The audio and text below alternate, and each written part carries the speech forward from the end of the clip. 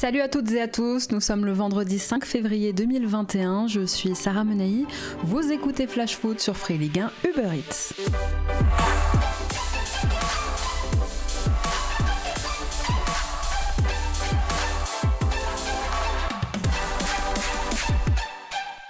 Clap de fin pour Mediapro et du coup nouveau diffuseur de la Ligue 1 jusqu'à la fin de la saison.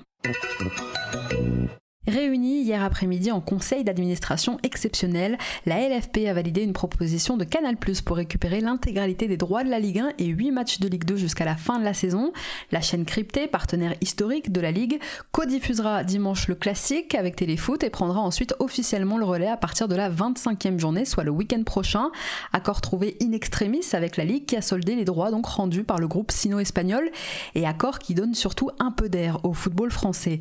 Amazon, Dazone et Discovery, ce sera pas pour cette saison et ça laisse un peu de temps du coup à la Ligue pour s'organiser concernant les droits de diffusion des prochaines saisons.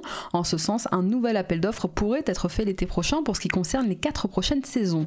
En attendant, et pour la première fois depuis 1999, Canal Plus regroupera tous les matchs de Ligue 1 sur ses antennes. Le groupe va sous-licencier la Ligue 2 à Bein Sport. La saison est sauvée. Le grand gagnant de ce bras de fer, c'est évidemment Canal qui a soufflé le chaud et le froid ces derniers jours. Dans l'opération, la chaîne cryptée s'est engagée à verser immédiatement 200 3 millions d'euros à la Ligue, un véritable soulagement pour nos clubs. Au total, cette saison, les diffuseurs auront payé 700 millions d'euros pour la Ligue 1 et la Ligue 2, soit une baisse d'environ 40% par rapport aux 1,2 milliard d'euros prévus. C'est déjà ça. Et je sais pas vous, mais moi j'en avais un peu marre de parler de cette histoire de droit qui dure quand même depuis plus de 6 mois. On va enfin pouvoir revenir à l'essentiel jusqu'à la fin de la saison, le terrain. Du coup, tout de suite, on jette un coup d'œil sur les rencontres qui vous attendent ce week-end.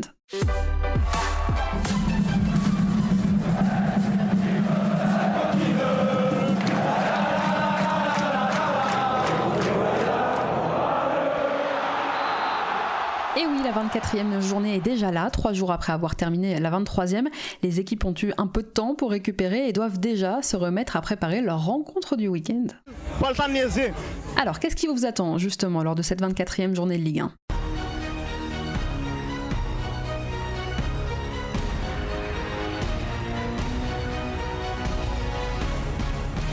Pas de match ce soir évidemment, ça reprendra dès demain pour Lorient et Reims notamment à 17h au Moustoir des Merlus qui vont mieux accueillent le stade de Reims.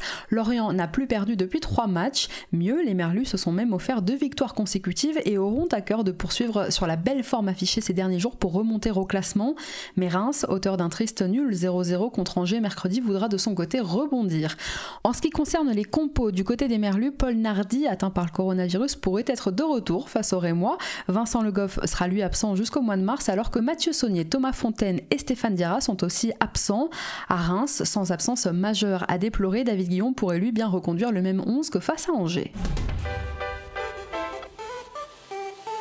À 19h, toujours samedi, c'est Lyon qui accueille Strasbourg au Parc OL.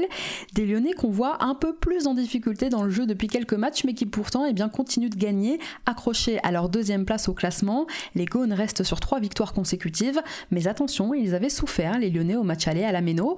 En face, les Strasbourgeois, qui avaient pourtant bien entamé 2021, sont un peu plus en difficulté depuis trois matchs. Le Racing reste sur un match nul face à Brest. À 21h maintenant, c'est Lens qui accueillera Rennes. Deuxième match consécutif à Bollard pour les hommes de Francaise qui ont mercredi soir arraché le point du nul face à Marseille. Au même moment, mercredi, eh bien, Rennes n'a pas pu faire mieux qu'un match nul, lui aussi contre Lorient. On s'attend donc à voir deux équipes revanchardes et vu la saison des deux, eh bien, ça promet une belle rencontre.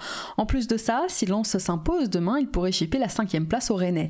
Francaise, comme à son habitude, pourrait faire un peu de turnover par rapport au match de mercredi. Il pourra quand même compter sur ses hommes forts puisque seuls Cheikh Traoré et Ignatius Manquent encore à l'appel. Côté Rennais, le coach Julien Stéphan a lui aussi le choix et sans absence majeure, il pourra aligner un 11 compétitif. Dimanche 13h, la LFP vous propose un petit Brest-Bordeaux. Après avoir arraché un nul inespéré face à Strasbourg, les Brestois espèrent renouer avec la victoire qu'ils n'ont plus connue depuis un mois maintenant. En face, les Bordelais qui viennent d'enchaîner deux défaites consécutives doivent se remettre dedans et doivent se remettre surtout de la claque reçue face à Lille mercredi soir. Côté compo, Olivier Dalloglio ne compte que Denis Bain comme absent majeur. Il pourrait être tenté de reconduire son 11 de mercredi soir face à Strasbourg. Pareil pour Bordeaux qui devra se passer de deux absents de longue date, Mehdi Zerkan et Otavio. Mais Jean-Louis Gasset devra aussi se passer de Youssouf Sabali blessé. Toujours pas non plus de Jean-Michel Seri puisque la nouvelle recrue bordelaise ne sortira de l'isolement que samedi. Un point sera fait en début de semaine pour évaluer son aptitude à jouer le week-end prochain. Il y aura ensuite dimanche 4 rencontres à 15h et on commence par un choc des extrêmes entre Nîmes et Monaco. Trois jours à peine après avoir affronté le Paris Saint-Germain, les Crocos se retrouvent à accueillir au Costières un autre gros du championnat, l'ASM, équipe très en forme, que dis-je, très très en forme depuis quelques semaines déjà. L'équipe de Niko Kovac chasse toujours le trio de tête, elle est invaincue depuis 8 matchs, seule équipe avec Metz à être invaincue en 2021. Monaco reste sur une belle série de 6 victoires consécutives, tandis que de son côté, eh Nîmes avec 15 défaites en 23 matchs et toujours lanterne rouge du championnat.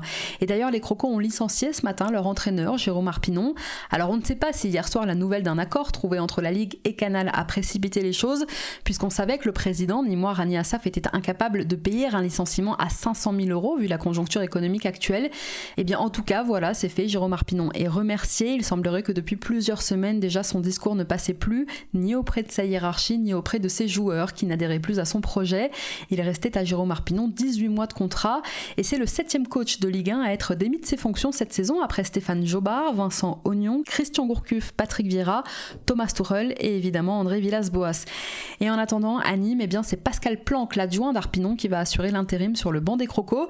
Techniquement, le maintien est encore possible pour Nîmes. Alors est-ce que ce départ va provoquer l'électrochoc tant attendu du côté du Nîmes olympique? Réponse dès dimanche. À 15h toujours, c'est Montpellier qui accueillera Dijon, on en reparle dans un court instant. Dans le même temps, c'est Metz qui se déplacera sur la pelouse de l'AS Saint-Etienne. L'embellier aura été de courte durée pour les Verts après leur succès à Nice. Une réaction sera attendue dimanche contre les Grenats. Alors il faudra bien sûr rendre une bien meilleure copie que contre Nantes mercredi soir pour éviter un dixième match sans victoire à Geoffroy Guichard. Et eh bien tout ça, ce sera face à des Messins quand même redoutables ces derniers temps.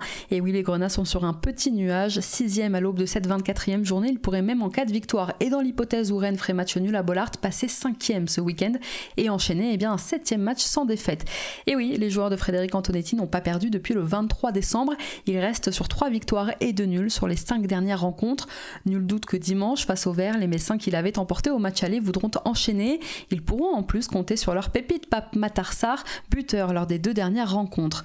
Côté compo, victime d'une béquille mercredi contre Montpellier, le défenseur messin Thomas Delaine ne s'est pas entraîné ce matin, tout comme Warren Chibembe qui souffre lui du genou.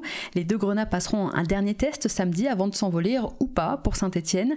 Les absents de longue date, Opa Enget, Vincent Pajot, Kevin Endoram et Ibrahim Anian sont toujours forfaits. Et côté stéphanois, les recrues Anthony Modeste et Pape Cissé pourraient peut-être démarrer la rencontre.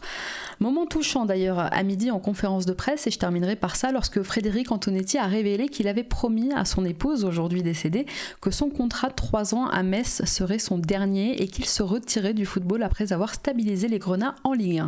Pour l'instant, cette saison, eh bien, c'est très bien parti. 15h toujours dimanche, Nice reçoit Angers et les Niçois doivent absolument regoûter à la victoire pour remonter au classement et s'éloigner de la zone rouge. Seulement Angers eh bien, a aussi des ambitions après son match nul décevant face à Reims mercredi soir. Et désormais, eh bien, les Aiglons ont deux joueurs à l'infirmerie pour une rupture des ligaments croisés. Depuis mercredi soir, à la grave blessure de Dante, c'est donc ajouté celle de Jeffren Adelaide dont la saison est évidemment terminée. Youssef Attal n'est pas encore revenu, tout comme Danilo et Lopez. Côté Angevin, Stéphane Moulin devrait présenter à peu près le même groupe que mercredi. Bien sûr, Enzo Ebos et Rachid Alioui sont toujours absents. Stéphane Baoken, absent mercredi à Reims, pourrait faire son retour, tandis qu'Angelo Fulgini est incertain. Pour l'instant, le milieu de terrain en juin s'entraîne à l'écart du groupe. À 17h dimanche, les Nantais accueillent le leader lillois, des Nantaises à la dérive qui n'ont pas gagné le moindre match depuis l'arrivée sur le banc de Raymond Domenech et qui se rapprochent inexorablement de la zone rouge. Ils sont désormais 17e les Canaries au classement avec le même nombre de points que Lorient barragiste. En face, eh bien, c'est une dynamique complètement différente, complètement opposée. Lille, je vous le disais hier, marche sur le championnat, ils sont premiers et sont surtout redoutables d'efficacité. Côté compo à Lille, Bourak Elmaz, déjà absent mercredi soir, est d'ores et déjà forfait pour le déplacement à Nantes et Youssouf Yazice est lui incertain. Buteur face aux Girondins en milieu de semaine, l'attaquant turc avait quitté la pelouse du Matmut Atlantique en boitant. Il souffre d'une petite entorse. C'est un coup dur pour Christophe Galtier, même si eh bien, ce LOSC-là est quand même bien armé. Jonathan David, Timothy Weah, Jonathan Iconé peuvent évoluer devant. Côté nantais, dimanche, Raymond Domenech devra faire sans Nicolas Palois, toujours suspendu, et sans Khalifa Koulibaly, victime d'une douleur à la cuisse hier à l'entraînement. L'attaquant malien est forfait pour cette rencontre. En revanche, eh bien, Kader Bamba pourrait lui effectuer son retour dans le groupe nantais.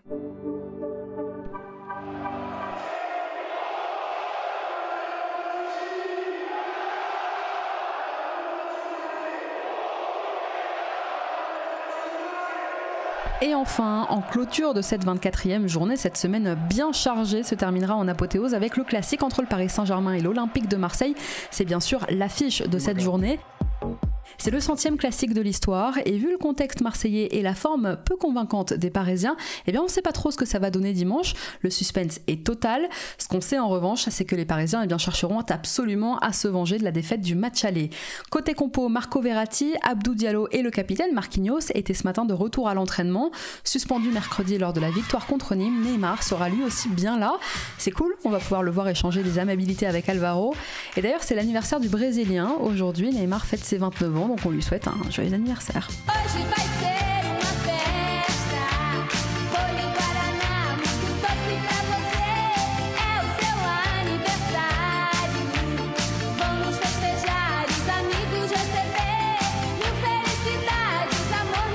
Et si Neymar sera là dimanche soir, en revanche, eh bien Juan Bernat, Keylor Navas et Ander Herrera manquent eux à l'appel.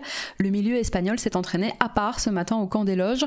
Côté marseillais, eh bien à la commanderie ce matin, c'est Milik qui était absent de l'entraînement collectif, légèrement touché à une cuisse mercredi soir à Lens. Il pourrait déclarer forfait pour dimanche. À où je vous parle, Valentin Rongier et Jordan Amavi sont eux toujours incertains. Et c'est évidemment Nasser Larguet et Philippe Anziani qui assureront dimanche l'intérim sur le banc marseillais.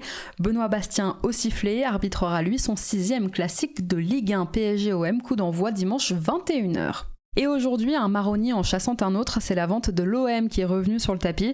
Et oui, cette fois, tout serait bouclé. Moi, je sais, ils disent ça à chaque fois, mais là, la transaction serait très proche d'aboutir. Frank McCourt devrait prochainement céder l'OM à un fonds d'investissement saoudien, la Kingdom Holding Company, dont le président n'est autre qu'un membre de la famille royale saoudienne, Al-Walid Ben Talal Al Saoud. Alors, euh, si ça se fait, les classiques vont se transformer en guerre du Golfe. Le Qatar d'un côté, les Saoudiens de l'autre. Mamé, on n'est pas sorti de l'auberge. Alors, je vanne évidemment, mais si ça se fait, eh bien, on pourrait voir l'OM de retour sur le devant de la scène.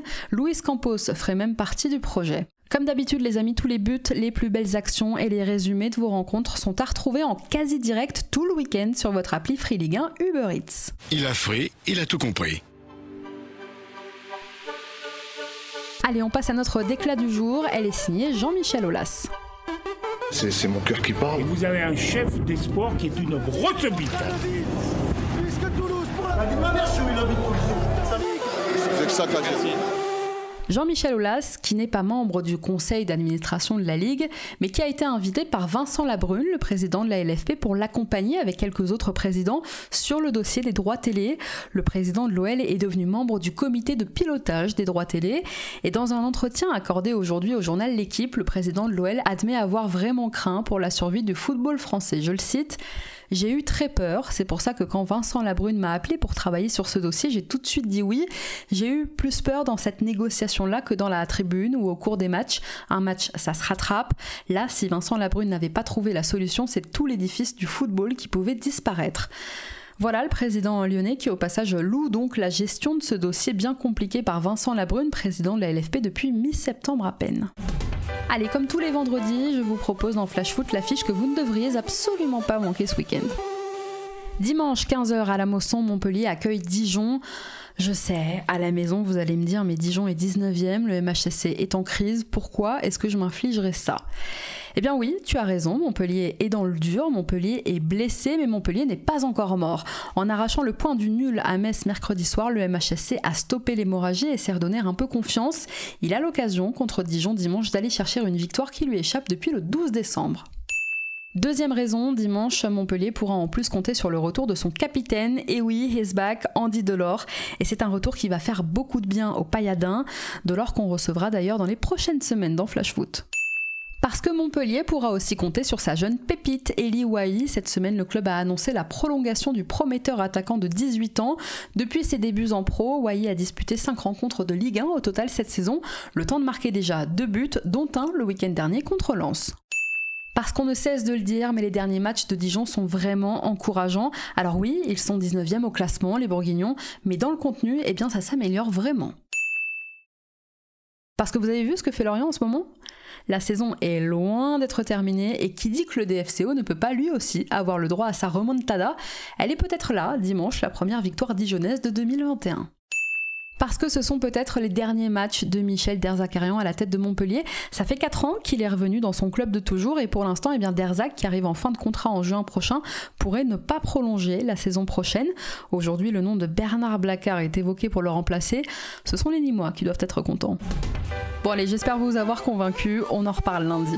Un point rapide tout de même sur les compos. Ce Montpellier-Dijon se jouera sans Roger Assalé ni Yacine Benzia, toujours à l'infirmerie. Le jeune arrière-gauche dijonnais Arthur Zagré est lui incertain. Et la nouvelle recrue Aboubacar Camara est toujours à l'isolement. Côté montpellierin, Ambroise Oyongo, Junior Sambia et Pedro Mendes sont toujours incertains à l'heure où je vous parle. Merci à tous d'avoir été avec nous. Bon week-end de Ligue 1. C'était Sarah Menei, vous écoutiez Flash Foot. On se retrouve lundi pour débriefer ensemble cette 24e journée de championnat.